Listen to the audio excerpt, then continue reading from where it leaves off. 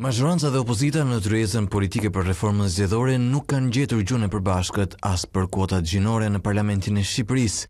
Të dyja palët janë dakord që minimumi tridhjetë për qind e listave të kandidatëve për çdo zonë zgjedhore t'i përkasin gjinisë femërore. Ku ndahen është te renditja e tyre. OSBE ODIHR ka rekomanduar që kuota tridhjetë për qind t'i referohet përbërjes së Kuvendit, jo thjesht listës së kandidatëve, duke evituar që gratë dhe vajzat të përfundojnë në fund të listave.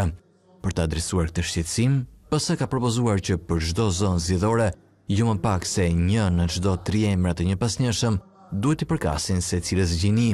Ndërsa PD propozon që ky përkufizim të jetë në fuqi vetëm për tre emrat e parë të listës, e cila më poshtë do të duhej thjesht të respektonte kuotën tridhjetë për qind në totalin e saj. Kjo do të lejonte përsëri që kandidatet femra të jenë më poshtë në lista, duke pakësuar shanset e tyre për të hyrë në parlament. PS dhe PD ndahen edhe te sanksionet.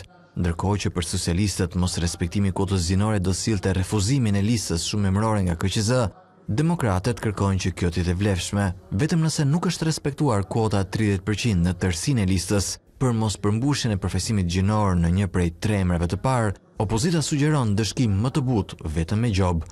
Dakordësia është gjetur te këshillat bashkiakë, ku është pranuar propozimi i PS-së për kuotën pesëdhjetë për qind dhe renditjen një në dy emra për secilën gjini.